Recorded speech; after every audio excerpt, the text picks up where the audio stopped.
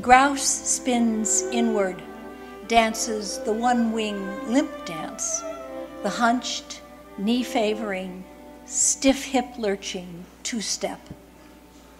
Round and round she dances, dragging a wing, a thumb joint, and the dragged part, flightless, makes a spiral in the dust, a whorl, a shell shape, an ear, a way in.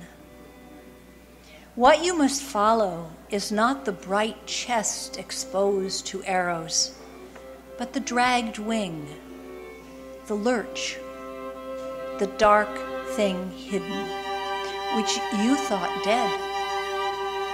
There is the pivot, the still place where she falls in.